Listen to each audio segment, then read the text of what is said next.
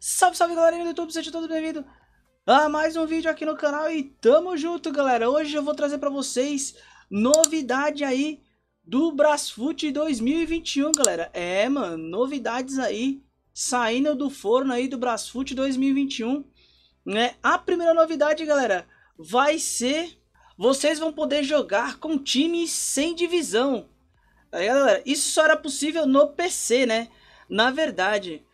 É, essa novidade é basicamente para quem joga pelo telefone, né? Os seus Brasfoot aí, né? E a gente vai poder estar tá jogando com times de, sem divisão. Ou seja, a gente vai estar tá jogando com clubes sem nenhuma divisão. A gente vai poder estar tá subindo esse time para disputar a Série D, dependendo de como a gente disputar o campeonato, o campeonato estadual, né? No caso, né?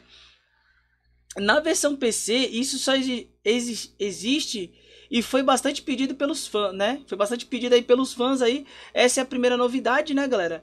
É, vai ter uma baita de uma reformulação aí, né, pro Android, né? Muita gente pediu para estar tá jogando com times de divisões, sem divisões, né?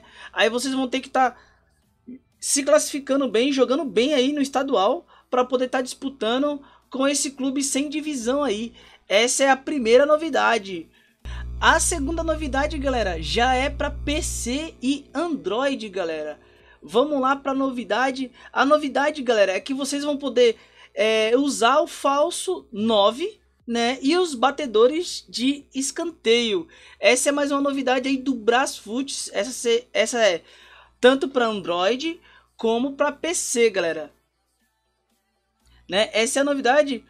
É, agora vai ser possível, né? É, transformar o usar o atacante e os meios, meios campista como um falso 9.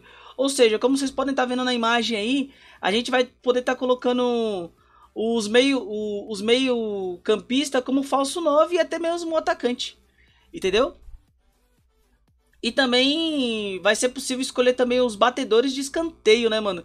Lembrando que no Brasfoot anterior, a gente tinha vários gols olímpicos, né? Acontecia vários gols olímpicos, mas a gente não sabia a gente só ficava sabendo quem cobrava o escanteio, né? Quando aparecia o gol olímpico, né?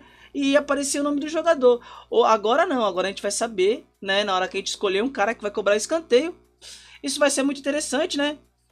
É, essas novidades aí são pro Brasfoot 2021. Como vocês podem estar tá vendo aí na, na imagem, né? Vai ter o batedor de pênalti, o capitão, o batedor de escanteio, né? E, e a opção usar meio campo ou atacante como falso 9. Esse aí vai ser e vai modificar um pouco, né? A a imagem aí, como vocês podem estar tá vendo aí, né? A imagem do Brasfoot 2020 e como que vai ficar o 2021, né? Essas são as novidades. Espero que vocês tenham gostado. Se curtiu, deixa aquele like, se inscreva no canal e ative o sininho para estar tá recebendo novas notificações. Tamo junto, valeu, galera.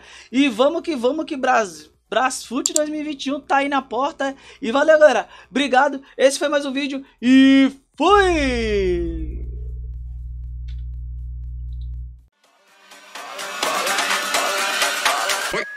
Vamos lá, vai, vai.